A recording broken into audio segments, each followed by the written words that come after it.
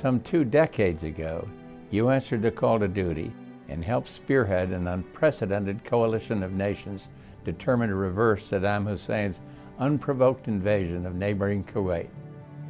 Your service in uniform during the course of Operation Desert Shield, Desert Storm, did more than eject the invaders and uphold international law. Your courage, honor, and selflessness also helped unite and inspire our nation and heal the wounds of Vietnam. It was without a doubt a great honor to serve as your Commander-in-Chief. Next month, on January 20th, the George Bush School of Government and Public Service will convene a rare gathering of key players and distinguished guests at Texas A&M University to reflect on those momentous events that culminated in the liberation of Kuwait.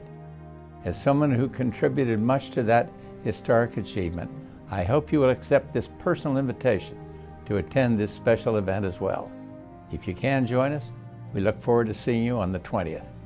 If, however, you cannot join us, I hope you will once again accept my heartfelt gratitude and respect for helping the United States and our allies write one of history's noblest and most hopeful chapters. Thank you for your service.